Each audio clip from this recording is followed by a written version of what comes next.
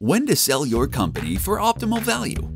When it comes to timing, there are three important factors. Are you ready? Is your company ready? Is the market ready?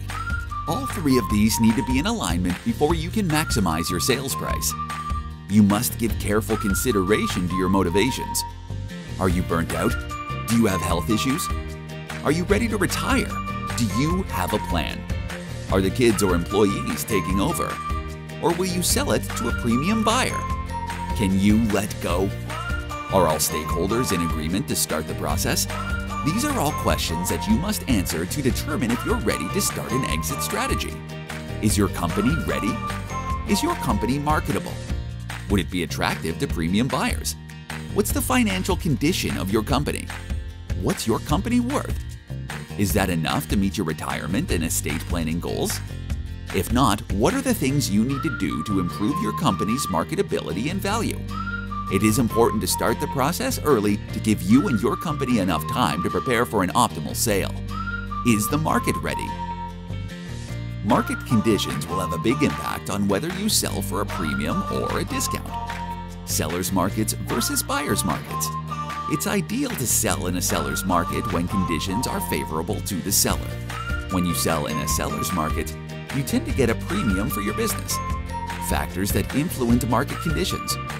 Interest rates. The lower interest rates, the higher the value of your company. Liquidity. Are banks lending? Is there dry powder in the market to make acquisitions? Higher liquidity leads to a higher sales price. Taxes. The tax you pay when you sell a business is known as capital gains tax. Ideally, you want to sell when capital gains taxes are low. Supply and demand of business for sale. More buyers or more sellers? Are there more buyers or more sellers in the current market? More buyers and sellers leads to a premium price. More sellers than buyers leads to a discount in price. Economic growth. Is the economy growing with confidence or is the economy declining with fear? When economic growth and confidence is good, you will get a better price for your company.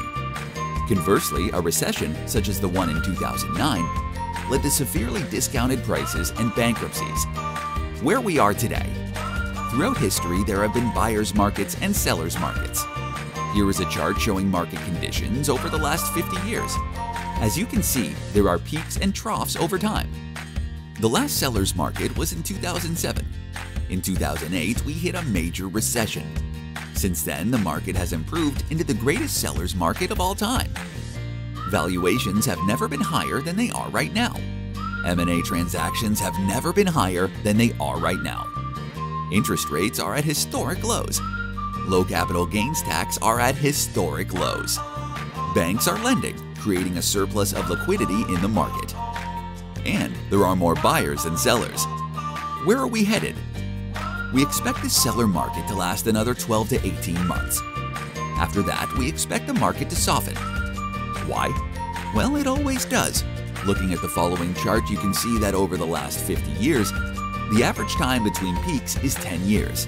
Prior to this great seller's market, the last seller's market was in 2007, or 14 years ago. We are starting to see a rise in inflation. The Federal Reserve plans to deal with that with interest rate hikes. Remember, high rates means lower values. Furthermore, there will be a significant increase in the supply of business coming available for sale due to aging baby boomers. Forbes has indicated that there are 10 million baby boomer business owners with a total market value of $10 trillion. Today, in the most liquid market ever, total liquidity is around $3 trillion. Forbes also projects that nearly half of these baby boomers will try to sell their companies in the next three to five years. Many deals won't get done, and those that do will sell for a dramatically lower price or discount. There will be more sellers than buyers.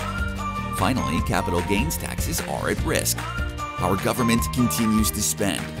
National debt is over $30 trillion.